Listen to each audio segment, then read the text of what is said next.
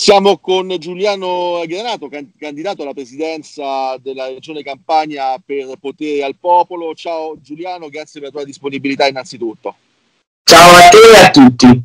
Siamo ormai insomma, in prossimità, ti immaginiamo eh, abbastanza impegnato con la campagna elettorale, una campagna elettorale che tu stai declinando molto diciamo, in giro per i territori partiamo da questo, che risposta stai intercettando? La proposta politica di potere al popolo, che tipo di, di, di risposta sta eh, avendo e che tipo di sensibilità sociale e politica va a intercettare? Sì, il primo dato che mi, mi, preme sottolineare è il fatto che noi siamo gli unici che stanno facendo campagna elettorale, andando in giro, andando ad incontrare le persone. In sicurezza però lo stiamo facendo, gli altri la campagna elettorale la stanno facendo probabilmente nel chiuso dei salotti. La risposta di tante delle persone che ho incontrato è una risposta che contiene all'in- al suo interno una bella contraddizione, nel senso che c'è tanta sofferenza sociale, tante difficoltà che escono fuori dai racconti, però c'è allo stesso tempo tanta dignità e una voglia di mettersi finalmente alle spalle il passato, finalmente alle spalle tanti dei problemi che purtroppo si vivono, si vivono qui in, in Campania. Io mi è rimasta impressa una frase che mi ha eh, detto una, una, donna che abbiamo incontrato a Sarno alla centrale biogas, pure alla centrale biogas che è una centrale che sparge inquinamento su tutto il territorio oltre ad una puzza veramente nauseabonda. Questa donna ci ha detto eh, io devo proteggere i miei figli, li devo mandare via. Ecco, io credo che questo,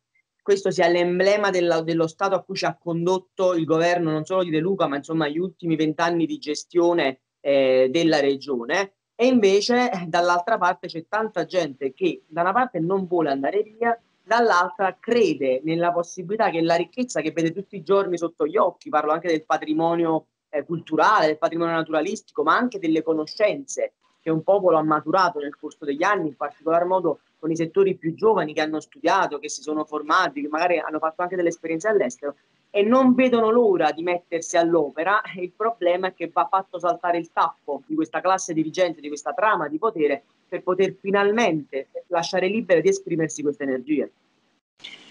La mh, mm, proposta politica di potere al popolo, tra l'altro, come tu hai, hai, ricordato, questa campagna elettorale penso sia caratterizzata, e questo te lo voglio chiedere, me l'hai un po' suggerito tu, è la camp- campagna elettorale ai tempi del Covid, no? Che tipo tu, tanto che fai politica, che tipo di differenze ci sono anche nella risposta delle persone, eh, c'è più paura, più timore, più preoccupazione. Anche qui io riscontro una certa ambivalenza perché da una parte c'è più paura, ci sono anche attivisti di, di potere al popolo del nostro movimento che hanno paura, che hanno difficoltà ad organizzare, anche a pensare di organizzare un incontro, un incontro pubblico, perché c'è paura, perché comunque diciamo, al di là di quello che dicono i negazionisti, morti ci sono stati e se qui al sud sono stati meno che al nord è perché abbiamo avuto responsabilità di rimanere a casa e soprattutto il miracolo del fatto che il virus non è sceso troppo, altrimenti sarebbe stato veramente un disastro.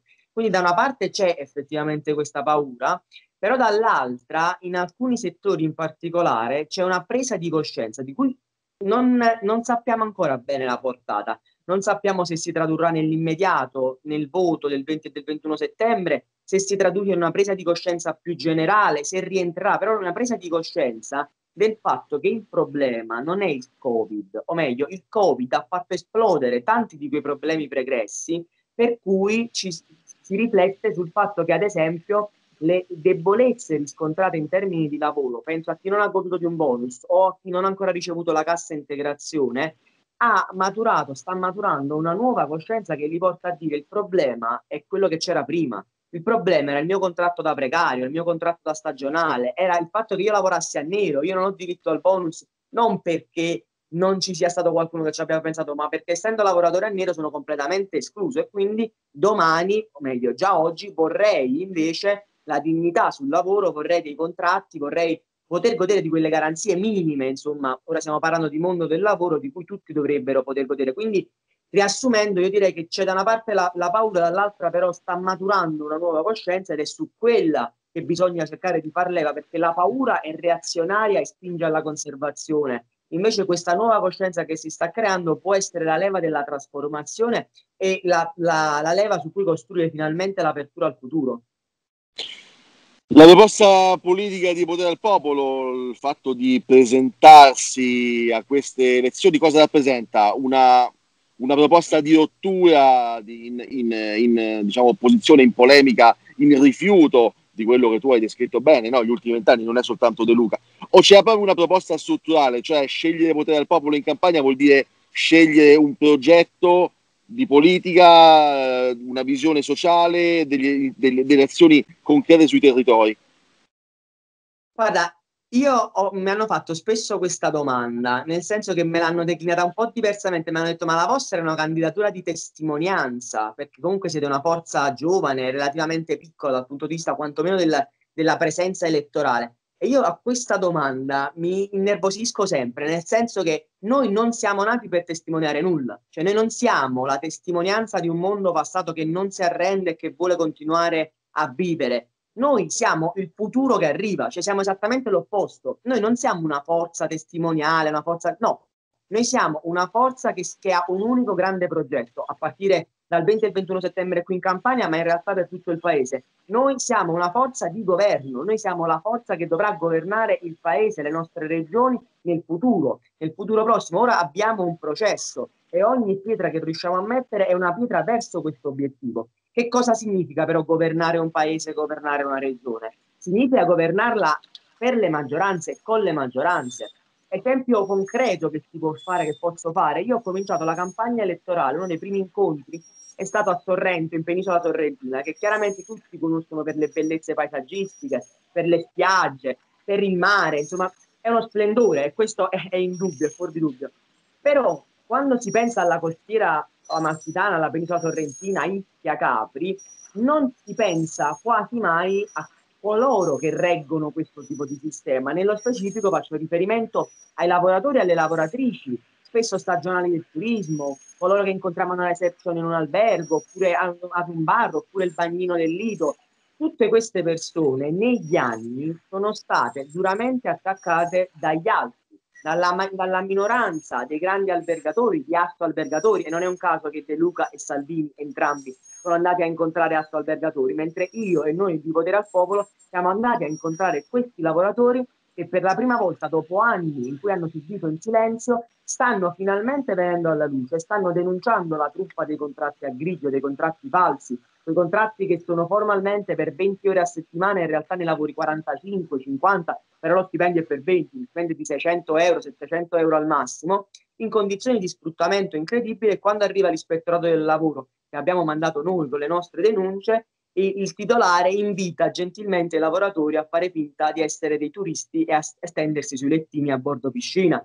Cioè questa è la situazione. Allora il governo del paese, della regione, non è il governo in generale, il governo è dalla parte di chi? Noi siamo dalla parte della maggioranza, ci sono decine di migliaia, ad esempio, di lavoratori stagionali del turismo e non c'è nessuna forza politica che ne faccia gli interessi, che significa nell'immediato bonus, che significa nell'immediato ammortizzatori sociali che aiutino ad attraversare questa fase difficile, ma che nel medio-lungo periodo si chiami stabilizzazioni, si chiami lavoro dignitoso, si chiami contratti a tempo indeterminato, ma quelli veri, non quelli col Jobs Act, di cui io stesso sono vittima perché sono stato licenziato in regime di Jobs Act e molto difficilmente avrò la prospettiva del reintegro in azienda. Questo è il progetto di governo, ora l'ho declinato in una specificità sul mondo del lavoro, però potere al popolo non nasce per resistere. Noi nasciamo col sorriso sulla faccia per andare a vincere, per andarci a prendere le reti di questo paese. L'hai spiegato veramente molto bene eh, ed è molto chiaro, insomma. Ehm, ehm, l'ultima, una, l'ultima battuta. Eh, noi eh, siamo stati bombardati non soltanto diciamo, chi eh, vive in campagna, un po' tutto il paese dai video eh, sotto lockdown di De Luca, no? ehm, che hanno dato un'immagine di un certo tipo di politica molto autoritaria. Eh, di cosa ha bisogno la campagna? Che tipo di approccio politico necessita? Quali sono le cose assolutamente da fare per chi verrà, speriamo, potere al popolo e che le cose assolutamente da non ripetere mai più? Sì, in breve, io... sarebbe molto lunga, immagino, in breve. Sì, solo una piccola riflessione su De Luca, perché De Luca sta facendo una campagna elettorale da mesi fondandosi soltanto sull'elemento della paura, che è l'elemento reazionario per eccellenza. perché lui suscita un meccanismo, una necessità di protezione da parte del nostro popolo, una necessità di protezione che è reale, però la declina in un modo assolutamente autoritario. Sostanzialmente dice, voi dovete avere paura perché qui si può morire, perché qui abbiamo tanti problemi e quindi qual è la soluzione? Affidatevi a me che vi risolvo i problemi. Noi diciamo c'è da aver paura non soltanto del Covid, ma della disoccupazione, dell'inquinamento, del più alto tasso tumorale d'Italia, della terra dei fuochi, del più alto tasso di mortalità evitabile. Questa è una delle cose da evitare assolutamente. Mortalità evitabile significa che nella nostra campagna tanti cittadini, troppi cittadini, muoiono per la scarsità dei servizi sanitari e non è colpa dei medici, non è responsabilità degli infermieri, degli OS, del personale sanitario che anzi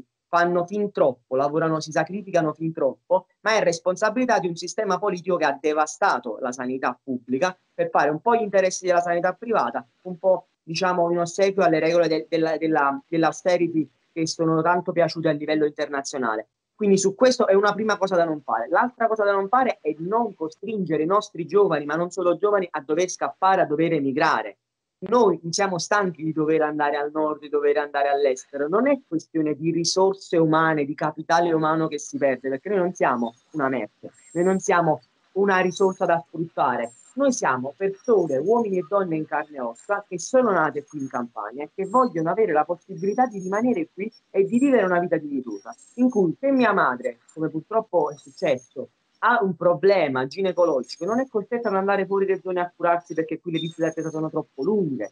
Una regione in cui mio fratello non deve scappare per andare a insegnare a Torino perché le gradatorie sono aperte praticamente solo al nord, ora non mi soffermo sul meccanismo oppure in cui una donna non debba dire al proprio figlio meglio che te ne vai perché qui c'è solo morte. Questo è quello che va evitato. Quello che c'è da costruire è il futuro. E non è il libro dei sogni, non c'è nel programma di potere al popolo, non è qualcosa di nero su bianco in un programma, è la realtà che abbiamo già davanti. Io penso ad un settore cardine delle regioni, il trasporto, io ho visto in Cilento, quindi nel sud della Campania, un altro posto spettacolare, delle imbarcazioni alimentate solo ad energia solare per far mettere fine al gasolio. Qui abbiamo la sfida della transizione ecologica, che non è una riverniciatura verde per dare i soldi alle solite aziende tipo Enel che si riciclano e fanno finta di essere verdi. Qui si tratta di dare veramente una svolta, di salvare il pianeta, ma per salvare il pianeta va fatto un cambio profondo di sistema.